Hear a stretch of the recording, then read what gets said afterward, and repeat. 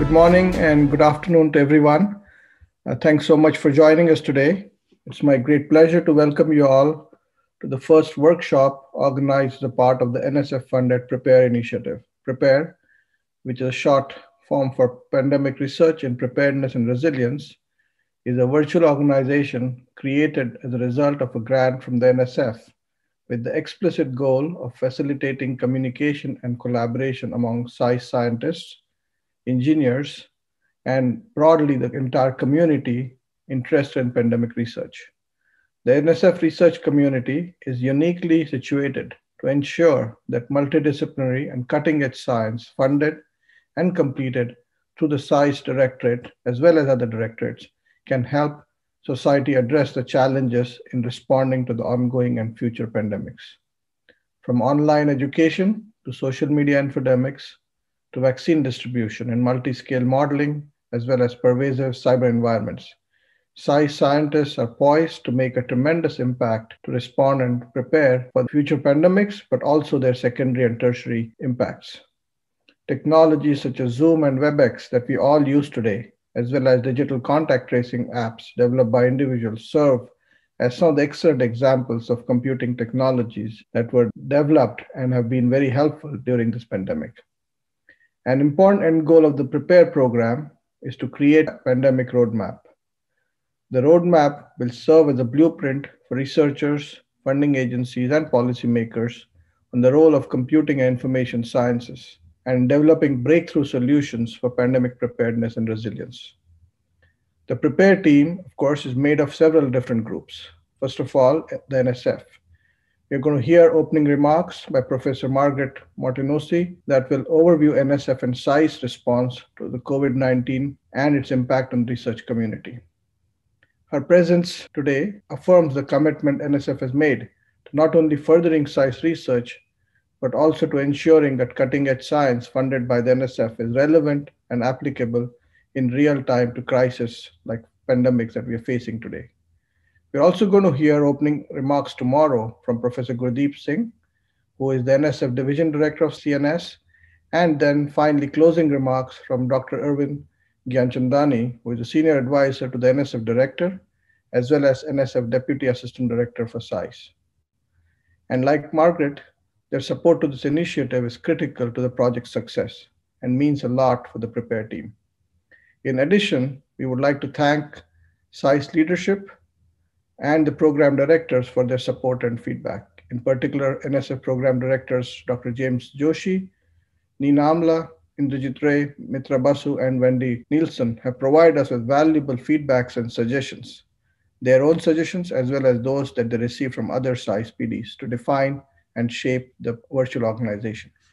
Second group is all of you are present here today. The investigators who have been funded by various CISE programs, as well as broadly by NSF and other funding agencies. Today, many of you are participating as a result of the rapid grants that you have received, and we hope to hear more from you in the poster session. We believe that by fostering a collaboration and building a cohesive community around all the participants, this group can develop life changing results and methodologies with a global impact. It's heartening to see the depth and breadth of the researchers participating in this workshop. Your involvement demonstrates the absolute commitment we need to develop effective science and technology policies to support our nation's readiness for the next pandemic. As we'll see in the poster session, there is a diverse research ecosystem here that extends far beyond epidemiology. CISE research in particular demonstrates how we can address computing challenges that arise from everyone working from home in increasing numbers, students, online campaigns, psychological effects of social distancing, etc. Our PREPARE team also includes a steering committee of experts from industry, academia, government agencies who are thoroughly committed to the success of this project. They are excited by the salient impact this community can have on future research directions in support of facing the next pandemic from a place of strength and preparedness.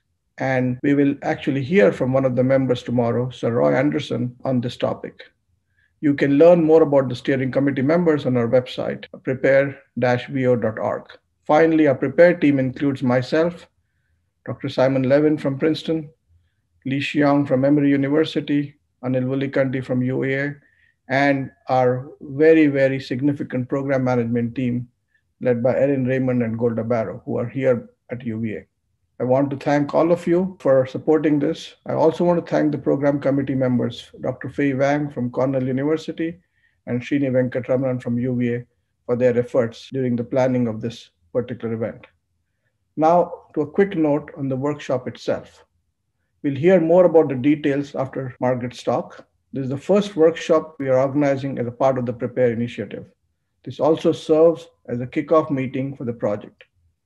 The goal for this workshop is to identify critical research paths that can become topical areas for future research workshops and provide a framework for creating the roadmap that I mentioned earlier.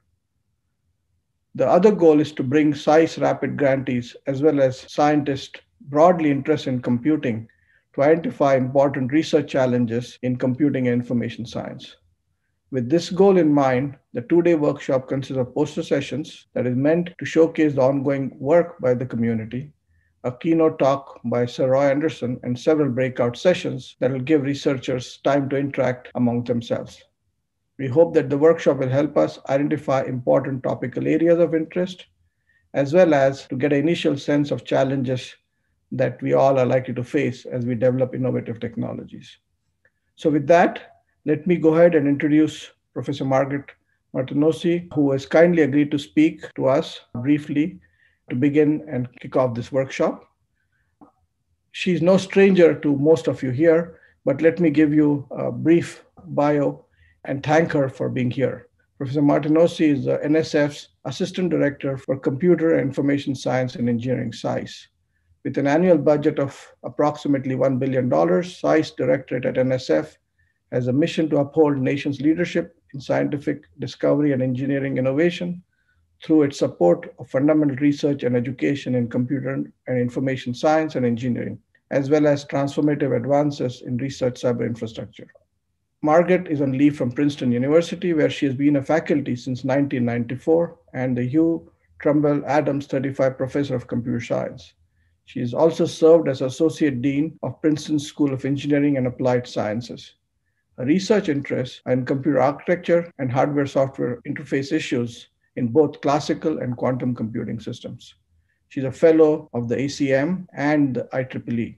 In addition, her research has earned her many, many accolades, including the 2018 IEEE Computer Society Technical Achievement Award, the 2013 Anita Borg Technical Leadership Award, the 2015 Marie Pistilli Women in Design Automation Award.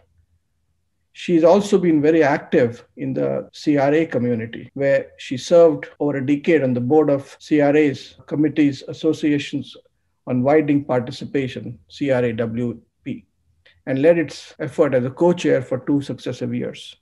In those roles, she helped lead efforts improving coverage and synergy of CRAWP programs for women as well as for other groups that were underrepresented within CISE.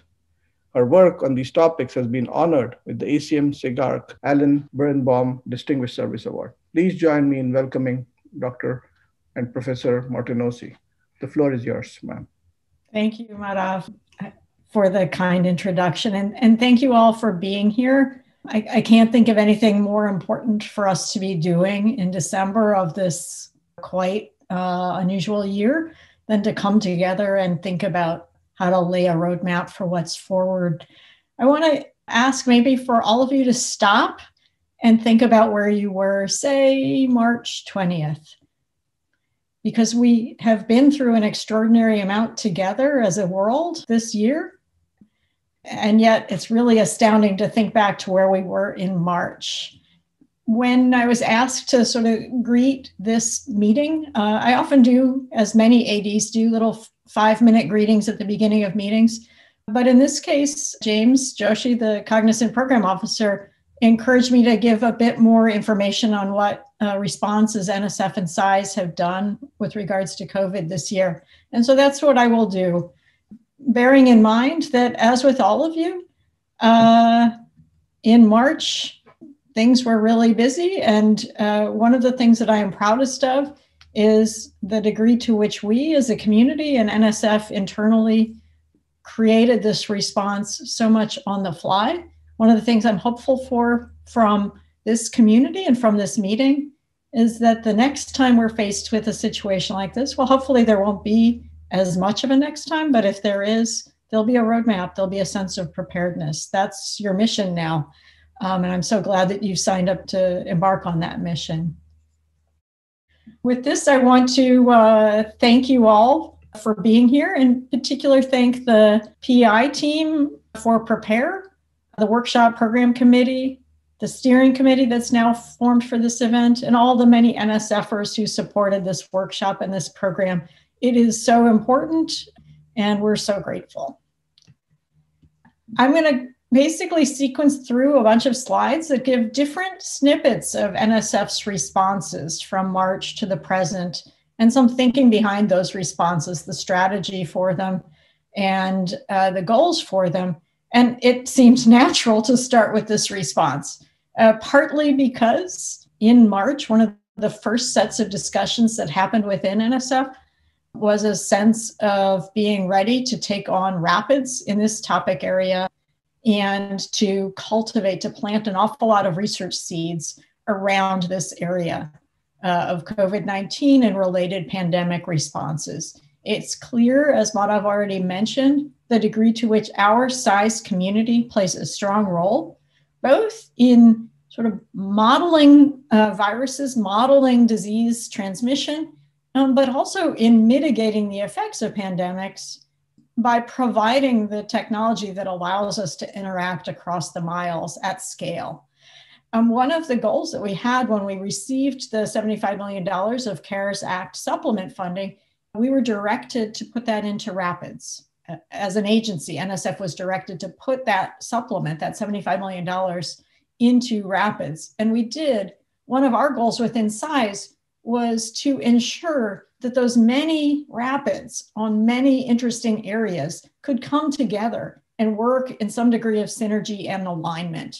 And that's what Prepare is about. It's about ensuring that there are meeting places virtually uh, where you can come together to align your efforts over the year and beyond. And we're very grateful for this VO being hosted at uh, University of Virginia and the sense of um, sort of synergy and alignment that it's bringing to the many investments that we made through Rapids.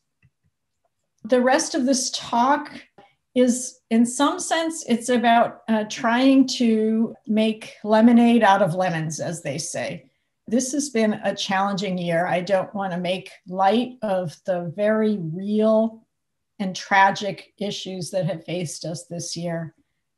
In the midst of that, NSF and CISE felt like it was very much our responsibility to help the academic community um, by ensuring that we continue to make investments where we could, um, because the best thing that NSF can do for the research community in many ways is to keep our funding going out on schedule. The other way in which this is sort of a lemons to lemonade kind of situation is about recognizing ways in which our technologies, our ideas can help mitigate pandemic impacts. And so I use this slide not to dismiss the very real challenges and tragedies of this year, but rather to say that where we could, uh, we tried to pivot towards positive, productive responses. In March, I remember even before we pivoted to telework, very early in March, we were having discussions inside the building at NSF, recognizing the degree to which the academic hiring, the faculty hiring in particular within our field, was likely to be impacted by what lied ahead. And indeed, in response to that, we're thrilled to have funded a program that's being run by CRA and CCC of emergency postdocs. From March, an idea that sort of drew from a previous CI Fellows 2008 program um, became funding that flowed, became an application process with a July deadline and a selection process. And so now in what is got to be record time, we have a new class of 59 two year postdoc fellows. We're thrilled that CRA and CCC used a max two principle, uh, meaning no more than two of those uh, postdocs could have gotten their PhD from any one school, And no more than two of those postdocs could end up landing at the same host institution. By accomplishing those max two ideas, as well as other balancing ideas across topics, we ended up with a cohort in which there are roughly 50, 60 universities represented among 59 fellows, either as the PhD grantor or as the host institution for those fellows. And we also have extraordinary topical diversity and believe it or not, 52% female in this class, despite the overall pool of our field. Uh, so the next steps, much like uh, we're doing with these rapids, the next steps are cohort building through virtual meetings and guest lectures so that these folks don't simply have sort of a job, but they are getting a sort of strong degree of mentoring and community formation. I will say that um, when we did this, it was a hunch about impact on the job market. Uh, we now have from Craig Wills at Worcester Polytechnic an analysis that shows roughly a 50% drop, so roughly cut in half in CISE job ads thus far for the upcoming hiring season. And we're keeping an eye on opportunities to do another program of this type going forward. Another response that we did was Civic Innovation Challenge, which actually was on the books and planned before COVID. It is a program that CISE has set up to build on our Smart and Connected Communities program, um, but to flip the dynamic. And in particular, where Smart and Connected Communities encourages researchers to hear from their community and then propose research accordingly. Uh, Civic flipped the dynamic and said communities should apply with their public health challenges, their public education challenges, their public safety challenges, and bring a researcher along with them. The idea being to accelerate the impact of SNCC style research. Given where we were in April, May, and June, it was clear that there were an awful lot of public health, public education, and public safety challenges that communities would want to take on. So we actually expanded the funding that was available for Civic, extended the deadline by a month, and ended up with an August deadline and uh, roughly 400 entries, of which about half were directly on COVID related topics. Another program involved $2 million of funding from NSF CISE out to US Ignite to acknowledge another challenge that has faced us in 2020, namely the disproportionate impact that COVID has had on the learning opportunities in underserved communities. And in particular, the goal here is for US Ignite to convene a set of novel broadband deployments, proposed proof of concept broadband deployments specifically aimed at supporting virtual learning in underserved communities with different types of underserved communities reflected. So different population densities, demographics, geography, and so forth. Uh, so, so this program now is in its call for proposal stage and it's accepting these proof of concept ideas to go forward in funding different virtual learning scenarios in the future. On a related note, when the year started, NSF CISE was pleased to have been the convener of the Platforms for Advanced Wireless Research, or PAWR Consortium, uh, which is a public private partnership with around three dozen companies and associations coming together with NSF to create test beds. And you can see the antennas, the sort of blue antennas with orange dots, represent existing PAWR test beds that are intended to be places where people could bring their broadband research ideas, their next generation wireless ideas, their 5G and beyond ideas, and test them at scale, uh, whether that's new protocols, new ideas for open RAN networks, and so forth. In the midst of COVID, we actually had a merit review process that was underway uh, for another solicitation for the PAWR Consortium this one specifically aimed at affordable rural broadband. And you could imagine that in a year where we all pivoted to remote access so universally, the notion of affordable rural broadband uh, was again very resonant with all the places, the eventualities that COVID had put us into and the challenges that we had faced with COVID. By the summer, we had two finalists, but we didn't really have a viable way to do the on site physical site visits that would usually be the last step in such a review process. In lieu of those physical site visits, uh, we made the choice to fund both of them with seed funding for a year. And so we now have two new entries in our PAWR Advanced Wireless map, namely the University of Nebraska and Iowa State University, looking specifically at these affordable rural broadband issues uh, with a bake-off that we hope will culminate next year in the funding of one or both of them as full-fledged PAWR test beds. Onward and upward. Over a weekend in March, NSF co-led the formation of the COVID-19 HPC Consortium. I'm extraordinarily grateful for CISE's Office of Advanced Cyber Infrastructure that was so essential to the formation of this consortium, uh, along with our partners at OSTP, IBM, and Department of Energy. Over the months that followed, this consortium grew to over 40 consortium members, public entities, private entities, domestic entities in the US, international entities around the world, all contributing computational resources towards better understanding COVID 19 and its transmission.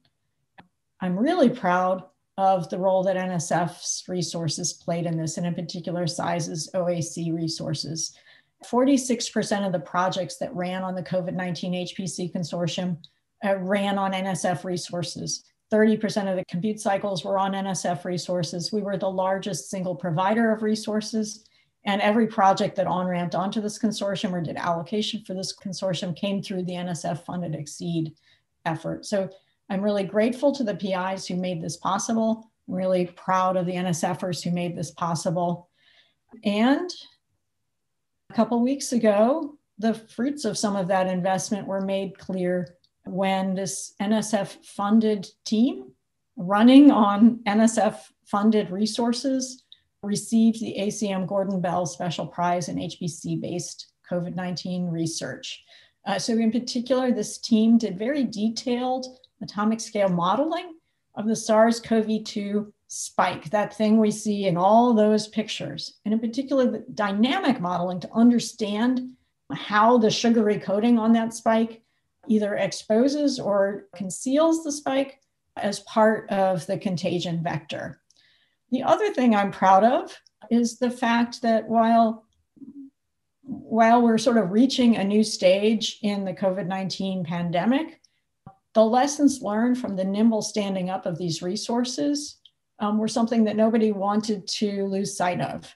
And in particular, I believe it's out today uh, there's a request for information about how to take the lessons learned from the COVID 19 HPC consortium and consider the formation of a national strategic computing reserve that can be turned on nimbly in future such scenarios. CISE had long been discussing a shift to no deadlines, and frankly, we made the decision to go to no deadlines in our core small grants before the full impact of COVID was apparent and independent of COVID. However, as AD and as a member of our research community, I know what a challenging semester fall 2020 has been for the academic community. And it makes me feel better. It makes me able to sleep at night to know that among the many deadlines that our CISE researchers had, among the many challenges that our CISE researchers had this autumn in pivoting their classes, in managing remote research, in managing family issues. It makes me happy to know that there wasn't a core small deadline there. Uh, so when you are ready to write your core small proposal, you can send it in. We see this as an opportunity for a great deal of technical nimbleness that if you have an idea in January, you can submit that idea in February rather than waiting for the following autumn. We also were gratified by the degree to which this might have been a help to people under the very challenging conditions this fall. As a new AD, I came in in February, and by March, I was teleworking. As a new AD, would have normally been going out maybe once a month to different campuses to talk to the community, making sort of actual seminar visits. That obviously wasn't possible this year. Um, so by about April or May, I had pivoted my plan from face-to-face visits, which obviously were all canceled, to a series of virtual campus visits. I did 30 of them in the first four months, and I'm continuing to do them. So if you would like your campus to be on my list, just send me an email. We continue to schedule them, and we are happy to sort of go out broadly. When I give the talk, it's typically a technical vision. It covers organizational themes uh, that I see important to the field, like the three that you see here, um, and then a fairly lengthy Q&A discussion with the CISE relevant faculty on your campus. And those have been an extraordinary way to keep connected with the community, to explain the rationale for things like no deadlines, to get the word out about different programs like CI Fellows, while also um, obviously all being in sort of this remote work world. I'll draw to a close here, much the way I started, which is with a sense of gratitude. We have an amazing research community. I am so proud of what CISE Research has done over the years to let us have this Zoom today. And I'm proud of what CISE Research is going to do going forward on pandemic prevention and on so many other topics. The key is, I think, to stay, when it comes to this particular topic, the key is to take the many wonderful efforts that are underway and um, make sure they stay aligned and can sort of synergize off each other. And so, with that in mind, I'm just going to ask that you all please stay engaged in this virtual organization and, and stay involved in its its activity so that it can be a really vibrant community. As was mentioned, the goal is a research roadmap for CISE and the related research community. And I, I can completely vouch for how much we at NSF are looking forward to having those kinds of community roadmaps to help us guide future programmatic. So you have a chance to weigh in and be a part of that. And so with that, I will stop sharing my screen and thank you all very much. Thank you very much, Margaret. What a wonderful presentation. It's a pleasure to, to have you here today, uh, really is. And I think your commitment is quite apparent from all the different projects that you folks are undertaking at NSF. So thank you again. And uh, you have our commitment that we'll try to build a very strong organization and come up with a good, good plan. Do you have scientific nuggets that we can say that the science community has contributed to address the COVID crisis? I mean, there are lots of activities, but at the end of the day, in science, results matters. So we've done a lot of activities. Can we talk about concrete results where we have made a measurable contribution? So I think there's two layers to this. So one are all the results that we have from, you know, CISE is 35 years old now.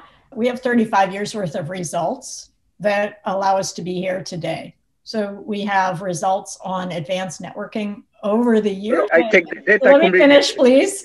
Let me finish. And there are some scientific results that have shown how those scalable networks responded to huge crises in March, April, May. Uh, when it comes to the virus studies themselves, I think that Rommie Amaro's team that I showed a couple slides ago is a wonderful result and in very quick uh, speed. And then in addition, their data is now part of an international data commons. And so there's a whole broader set of the scientific community that is able to use that data to build on it. Uh, I think there's also some really exciting and interesting results around contact tracing and social networks that are likewise something that CISE can be very proud of. The question in the chat from Khalid Malik. Are there some more funding options in the near future? If yes, what programs should one target? Uh, so I think um, the CISE core solicitation is is live, and we have no deadline, so you can send in a small. And I think we would have every expectation that um, many of our research community will be inspired by the events of this year and send in proposals accordingly. Uh, we're also in discussions about future funding programs that might be sort of more attuned to these specific areas. And all I can say there is stay tuned. Lily Rani had asked, will there be follow-on workshops? I can perhaps just quickly say that yes, there will be many, many, and I think we'll hear a little bit more about the plans going forward. Could I add one thing to Margaret's comment, if, if I may? Please, Sorry to interrupt. This yes. I'm Jeremy Epstein. I'm the lead for the SATC program. in addition to the core programs that Margaret mentioned, many of the research areas may come up, made uh, relevant to SATC, in particular, lots of privacy related stuff. And we also have no deadlines in SATC, so we encourage you to submit to us as well.